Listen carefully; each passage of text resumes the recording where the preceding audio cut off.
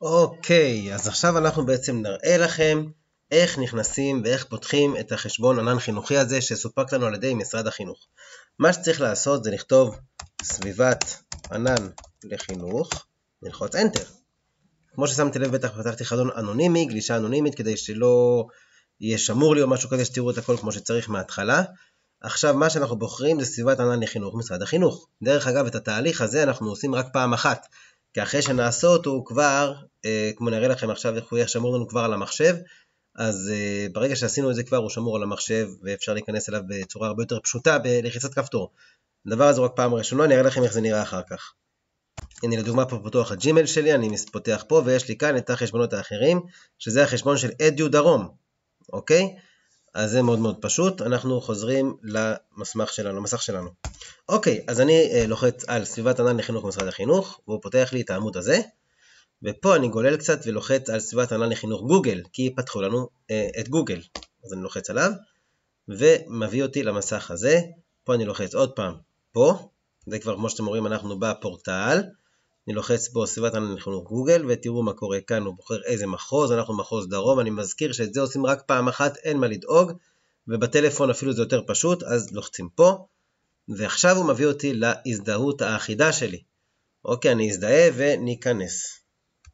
אוקיי, אז הוא נכנס, ואנחנו ממשיכים.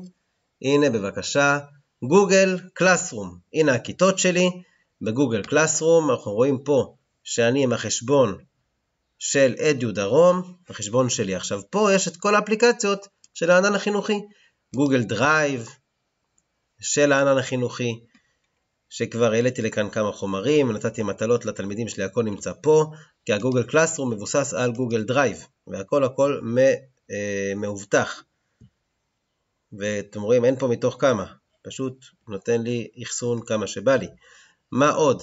יש לי אה, את ה Gmail, סליחה, את הג'ימל החינוכי, אוקיי, שגם אפשר לשלוח מפה מיילים, לקבל מיילים רק בתוך הארגון. הנה, כל מיני דברים. אה, יפה. אנחנו ממשיכים. מה עוד יש לנו?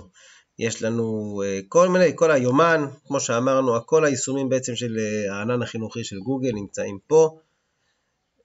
עכשיו, זה לגבי זה. עכשיו, מה אני עושה?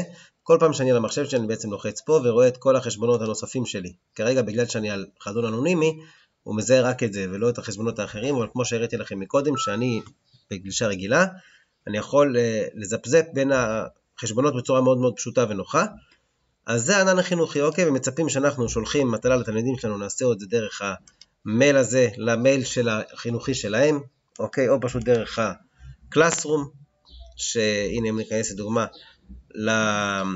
לקבוצה של אמירים שאותה אני מלמד, אז יש פה אה, איזשהו צ'אט אה, שאני יכול גם לבטל אם אני רוצה, פה אני שולח להם את המטלות, כמו לדוגמה המטלה הזו, והם יכולים לקבלים את זה גם אצלם, מאוד מאוד נוח, מאוד פשוט, ומצפים מאיתנו שאנחנו נתקשר עם התלמידים שלנו דרך הדבר הזה, אוקיי? אז אה, זה הכל, מקווה שהייתי לעזר. אנחנו בעצם בסרטון הבא נראה איך עושים את זה על הטלפון, שזה אה, כבר מאוד מאוד פשוט, ברגע שעשינו את זה על המחשב, השלב הבא יהיה לעשות את זה על הטלפון, שנוכל לקבל גם לדואל שלנו, לאפליקציית דואר שלנו, בין אם זה באפל, באייפונים או בטלפון אנדרואיד, מאוד פשוט. יאללה, ביי.